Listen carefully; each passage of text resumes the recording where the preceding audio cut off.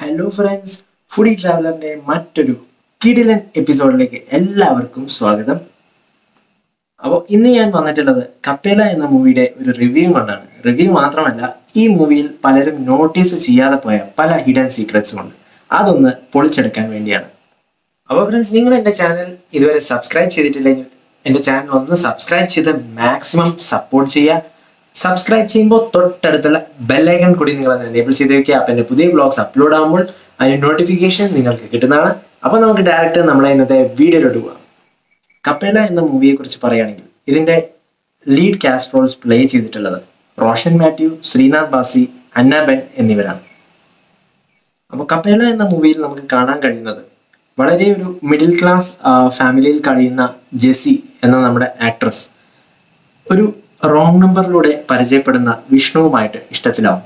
അങ്ങനെ അവർ കാണാതെ തന്നെ നേരിട്ട് കാണാതെ തന്നെ മൊബൈലിലൂടെയുള്ള മെസ്സേജുകളും കോളുകളും കോളുകളിലൂടെ പരിചയപ്പെട്ട് വളരെയധികം ഇഷ്ടത്തിലാകുന്ന ഒരു കാഴ്ചയാണ് നമുക്ക് ഈ മൂവി കാട്ടിത്തരുന്നത്. പിന്നീട് ജെസ്സിയും വിഷ്ണു ഫോണിലൂടെ വല്ലാതെ അടുക്കുന്നു. അങ്ങനെ ജെസ്സിക്ക് വിഷ്ണുവിനെ കാണാനുള്ള ആഗ്രഹം കാരണം ജെസ്സി വിഷ്ണുവിനെ കാണാൻ വേണ്ടി അവന്റെ നാട്ടിലേക്ക് പോകുന്നു. അവിടെ എത്തിയ അവിടെ എത്തിയതിന് ശേഷം സംഭവിക്കുന്ന പല സംഘർഷങ്ങളും സംഘർഷ ഘട്ടങ്ങളുമാണ് ഈ മൂവിയിൽ നമുക്ക് കാണാൻ കഴിയുന്നത്. ഈ മൂവിയിൽ റോയ് എന്ന ക്യാരക്ടർ പ്ലേ ചെയ്തിട്ടുള്ളത് ശ്രീനാഥ് ബാസിയാണ്. റോയ് എന്ന ക്യാരക്ടറിനെ ഒരു നെഗറ്റീവ് ഇമ്പാക്റ്റ് ഉള്ള ഒരു ക്യാരക്ടറായിട്ടാണ് ഇതിൽ ക്യാരക്ടർ പോർട്രേ ചെയ്തിട്ടുള്ളത്. അപ്പോൾ ഇതൊക്കെയാണ് ഈ മൂവിയുടെ ഒരു ഉള്ളടക്കം. പക്ഷേ ഇതിൽ പലരും നോട്ടീസ് ചെയ്യാതെ പോയ കുറെ കാര്യങ്ങൾ ഇതിന്റെ അകത്തുണ്ട്. അപ്പോൾ അതൊന്ന് നമുക്കൊന്ന് പൊളിച്ചെടുക്കാം. അപ്പൊ ആദ്യമായിട്ട് നിങ്ങൾക്കുള്ള ചോദ്യം ഇതായിരിക്കും. എന്തുകൊണ്ടാണ് റോയ് വിഷ്ണുവിനെയും ജെസ്സിയും പോകുന്നിടത്തെല്ലാം ഫോളോ ചെയ്തായിരുന്നു അതിനുള്ള ഉത്തരം ഈ മൂവിയിൽ തന്നെ അവർ തന്നിട്ടുണ്ട്. ഈ മൂവി കണ്ടപ്പോൾ നിങ്ങൾ ശ്രദ്ധിച്ചു കാണും. വിഷ്ണുവിന്റെ ഫോൺ ബേളത്തിനിടയിൽ ബസ് സ്റ്റാൻഡിൽ മിസ്സായി പോകുന്ന ഒരു കാഴ്ച. അവിടെ നിന്ന് ഒരു പയ്യൻ ഈ ഫോൺ എടുത്ത് കൊണ്ടുപോകുന്നു. അവിടെ നിന്നാണ് റോയ്ക്ക് വിഷ്ണുവിന്റെ ഫോൺ കയ്യിൽ കിട്ടുന്നത്. കയ്യിൽ കിട്ടി ഫോൺ കിട്ടിയതിന് ശേഷം റോയ് ഫോൺ സ്വിച്ച് ഓൺ ചെയ്യുന്നു. അതിലേക്ക് ജെസ്സിയുടെ കോൾ വരുന്നു. വേറെ രണ്ട് മൂന്ന് കോൾ വിഷ്ണുവിന് വരുന്ന കോളുകളെല്ലാം റോയ് അറ്റൻഡ് ചെയ്യുന്നു. അങ്ങനെയാണ് വിഷ്ണുവിനെ കുറിച്ച് ചെറിയൊരു ഹിന്റ് റോയ്ക്ക് കിട്ടുന്നത്. അതുകൊണ്ട് മാത്രമാണ് റോയ് ഇവരെ ഫോളോ ചെയ്ത് പോവാം എന്ന ഒരു പ്ലാൻ ചെയ്തത്. രണ്ടാമതായി നിങ്ങൾക്കുള്ള ചോദ്യം ഇതായിരിക്കും. എന്നാൽ പിന്നെ റോയ്ക്ക് ജെസ്സിയെ അത് കണ്ടപ്പോൾ തന്നെ നേരിട്ട് കാര്യം പറയായിരുന്നില്ലേ എന്ന്. അതിനുള്ള ഉത്തരവും ഈ മൂവിയിൽ തന്നെ അവർ തന്നിട്ടുണ്ട്. വേറൊന്നുമല്ല.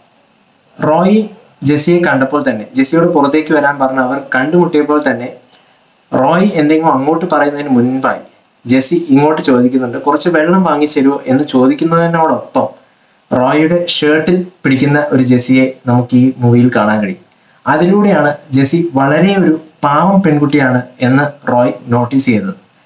അതുകൊണ്ട് തന്നെ അബ്രപ്റ്റായി കണ്ട് കണ്ടുമുട്ടിയ ഒരാളുടെ വാക്കുകളാണോ അതോ നാലഞ്ച് മാസം ഫോണിലൂടെ ആണെങ്കിൽ പോലും അത്യാവശ്യം സംസാരിച്ച ഒരാളുടെ വാക്കുകളാണോ ഇത്രയും പാവമായ ഒരു പെൺകുട്ടി വിശ്വസിക്കുക എന്നുള്ള കോമൺ മാൻസ് ലോജിക് ആണ് റോയ് അവിടെ ഉപയോഗിച്ചിരിക്കുന്നത്. അതുകൊണ്ട് മാത്രമാണ് റോയ് ജെസ്സിയോട് ഒന്നും അപ്പോൾ നേരിട്ട് പറയാതിരുന്നത്. പിന്നീട് നിങ്ങൾക്കുണ്ടാവുന്ന മൂന്നാമത്തെ ചോദ്യം ഇതായിരിക്കും. എന്നാൽ പിന്നെ റോയ്ക്ക് ഇത് നേരിട്ട് പോലീസിനെ അറിയിക്കായിരുന്നില്ലേ? എന്നാൽ പിന്നെ ഈ പുകിലൊന്നും ഉണ്ടാവില്ലായിരുന്നല്ലോ. അതിനുള്ള ഉത്തരവ് ഈ മൂവിയിൽ തന്നെ. അവർ ക്ലൈമാക്സ് നിങ്ങൾ കണ്ടിട്ടുണ്ടെങ്കിൽ അതിൽ ക്ലിയർ ആയിട്ട് പറഞ്ഞിട്ടുണ്ട്. അതായത് ആനി എന്ന ക്യാരക്ടർ ഇതിൽ നമ്മളെല്ലാവരും കൺഫ്യൂസ്ഡ് ആയി ഇരിക്കുന്ന ഒരു ക്യാരക്ടറാണ് പലരും ഇത് വിചാരിച്ചിട്ടുള്ളത് ഇത് റോയുടെ ലവർ ആണെന്നാണ്. എന്നാൽ അതിന്റെ ക്ലൈമാക്സിൽ തന്നെ ആനി പറയുന്നുണ്ട് ഞാൻ റോയുടെ കസിൻ ആണെന്ന്. ആനി ജെസ്സിയോട് സംസാരിക്കുമ്പോൾ തന്നെ പറയുന്ന ഒരു ഡയലോഗ് ഉണ്ട്. ഞാനാണ് റോയോട് പറഞ്ഞത് ഇത് പോലീസിനെ ഒന്നും അറിയിക്കരുത്. അത് നിന്റെ ഭാവിയെ ബാധിക്കും എന്ന്. ഇങ്ങനെ ആനി പറഞ്ഞത് കൊണ്ട് മാത്രമാണ് റോയ് പോലീസിനെ ഒന്നും അറിയിക്കാതെ തന്നെ സ്വന്തം ഒറ്റയ്ക്ക് അവിടെ അബു എന്ന ഒരു സുഹൃത്തിനെ കൂട്ടി പോയി ജെസ്സിയെ രക്ഷിക്കാനുള്ള ശ്രമം നടത്തിയത്. അപ്പോൾ ഈ മൂവി നിങ്ങൾ ഒരു തവണ കണ്ടിട്ടും ഇതൊന്നും നോട്ടീസ് ചെയ്തിട്ടില്ല എന്നുണ്ടെങ്കിൽ I will recommend you to watch this movie again ഇതൊന്ന് നിങ്ങൾ ഫ്ലാഷ് ബാക്ക് അടിച്ച് ഒന്നുകൂടെ കണ്ടു നോക്കണം. കാരണം ഈ മൂവി ഈ ഒരു ജനറേഷൻ കണ്ടിരിക്കേണ്ട ഒരു മൂവി തന്നെയാണ്. ഒരു കോമൺ മാൻ ഒരു കോമൺ ഗേളിനെ എങ്ങനെ ഈ ഒരു സിറ്റുവേഷനിൽ ലോജിക്കലി രക്ഷപ്പെടുത്തി എടുക്കും എടുക്കാം എന്നുള്ളൊരു നല്ലൊരു മെസ്സേജാണ് കപ്പേള എന്ന മൂവി നമുക്ക് തരുന്നത്. പിന്നെ എടുത്തു പറയേണ്ട ഒരു കാര്യം എന്ന് വെച്ചാൽ ഒരു സ്ട്രേഞ്ചറിന്റെ ആയിട്ടും നമ്മൾ ഒരു രീതിയിലുള്ള ഇന്റിമേറ്റ് റിലേഷൻഷിപ്പും നമ്മൾ ക്യാരി ഫോർവേഡ് ചെയ്യരുത് എന്നുള്ള സ്ട്രോങ് മെസ്സേജ് കപ്പേള എന്ന മൂവി നമുക്ക് തരുന്നുണ്ട്. സോ നിങ്ങൾ ഇതുവരെ ഈ മൂവി കണ്ടിട്ടില്ലെങ്കിൽ please to watch this movie നെറ്റ്ഫ്ലിക്സിൽ ഈ മൂവി റിലീസ് ആയിട്ടുണ്ട്. അപ്പൊ എല്ലാവരും നെറ്റ്ഫ്ലിക്സിൽ കയറി കപ്പേല എന്ന മൂവി എന്തായാലും കണ്ടിരിക്കുക. ഈ ഒരു ജനറേഷൻ കണ്ടിരിക്കേണ്ട ഒരു മൂവി തന്നെയാണ് കപ്പേല അപ്പോൾ ഇതുപോലത്തെ അടിപൊളി കിടിലൻ എപ്പിസോഡ്സുമായിട്ട് ഞാൻ വീണ്ടും എത്തുന്നതാണ്. This is your foodie travellers signing off